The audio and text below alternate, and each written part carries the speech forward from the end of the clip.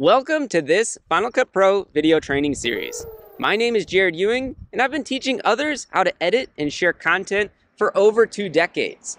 In that time, I've enjoyed watching people become empowered to share their stories and ideas with the world. Whether you're new to Final Cut Pro, video editing, or want a few tips to become a more efficient editor, this course has something for you. In this video, I'll answer why you should use Final Cut Pro, what you should know before taking this course, and how to get the content needed to follow along. Final Cut Pro is professional video editing software developed by Apple to work with their computers running Mac OS.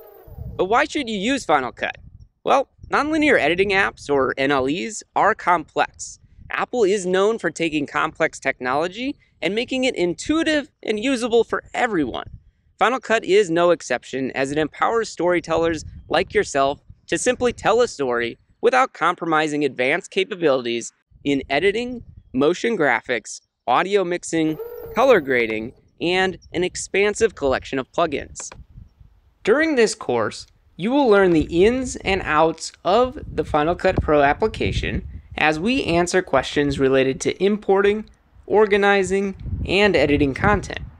We will dive into adding effects like titles, transitions, and color correction then share the finished product.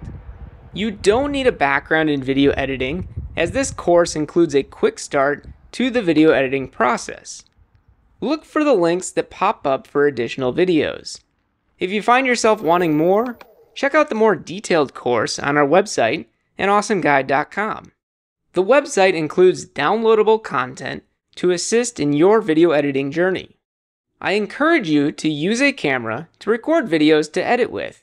In this course, we are editing video that was shot with an iPhone with a frame size of 4K and a frame rate of 60 frames per second. It is helpful to know the camera settings as they can impact the editing process. To see the settings on an iPhone, open the Settings app and tap Camera to change the frame size and rate among other settings.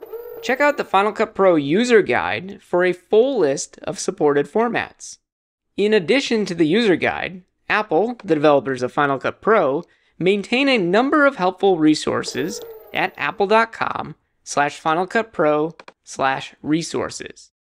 If you have questions about this course, please reach out through anawesomeguide.com slash support or down in the comments.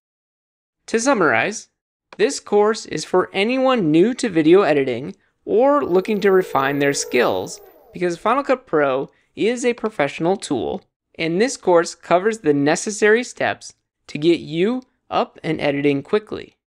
In the next video, we will cover how to set up a computer with Final Cut Pro, create a backup plan, and understand where Final Cut stores your video files.